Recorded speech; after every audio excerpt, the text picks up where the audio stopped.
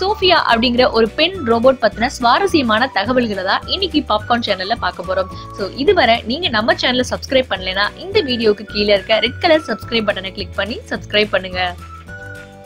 Hong Kong நாட்டில் இருக்க ஹேண்ட்ஸன் robotics அப்படின்ற நிறுவனத்தினால சில வருடங்களுக்கு முன்னாடி கண்டுபிடிக்கப்பட்டது தான் சோஃபியா அப்படின்ற ரோபோட் தொடக்க காலத்தில் சரியாக வேலை செய்யாத இந்த ரோபோட் தொடர்ச்சியாக அப்டேட் பண்ணிட்டு இருந்தது மூலியமாக நல்ல ரோபோட்டாக மாறியிருக்கு. இப்போ இந்த ரோபோட்டோட செயல்திறனை கண்டு வியந்த சவுதி அரேபியா அரசு இந்த ரோபோட்டை விலை கொடுத்து வாங்கியிருக்கு. இதன் மூலம் சவுதிக்கு பறந்த முதல் ரோபோட் அப்படின்ற பெருமையை பெற்றிருக்கு சோஃபியா. சவுதி அரேபியா நாட்டில் இந்த ரோபோட்டுக்கு குடியுரிமை வழங்கியிருக்காங்க.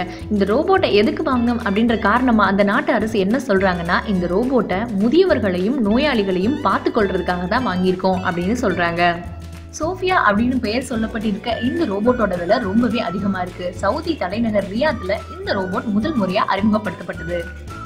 ஒரு ரோபோட்டுக்கு குடியுரிமை வழங்குறதுங்கிறது அவ்வளோ ஒரு சாதாரண விஷயம் கிடையாது. இதில் நிறைய சட்ட சிக்கல்கள்லாம் இருக்குது அதனால தான் சவுதி அரேபிய அரசு என்ன பண்ணியிருக்காங்கன்னா அது ஒரு சட்டமாக மாற்றி அந்த சட்ட திருத்தம் மூலியமாக சோஃபியாவுக்கு குடியுரிமை கொடுத்துருக்காங்க. சவுதி தலைநகர் ரியாத்தில் இந்த ரோபோட்டோட அறிமுக விழா நடைபெற்றுச்சு. அப்போ முதல் முதல்ல சோஃபியா பேசினாங்க.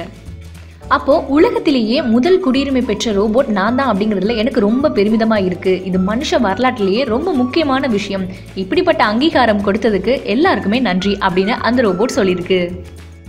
இந்த ரோபோட் மக்கள் கிட்ட பேச பேச அதோட அறிவு இன்னும் வளர்ந்து கொண்டே இருக்கும் அப்படின்னும் சொல்றாங்க. பல வருடங்களா போராடியும் சவுதி அரேபியால பெண்களுக்கு இப்பதான் ஓட்டுநர் உரிமம் வழங்கியிருக்காங்க. இந்த மாதிரியான ஒரு சூழ்நிலையில பெண் ரோபோட்டுக்கு குடியுரிமை வழங்கியிருக்கிறது ரொம்பவே வரவேற்கத்தக்கது அப்படின்னு சொல்லலாம். ஆக மொத்தம் எதிர்காலத்துல உலகம் முழுவதுமே ரோபோக்களால தான் நிரம்பி வழியும் அப்படின்னு சொல்லப்பட்டதோட தொடக்கமா இந்த சோஃபியா ரோபோட்டை நம்ம பார்க்கலாம்.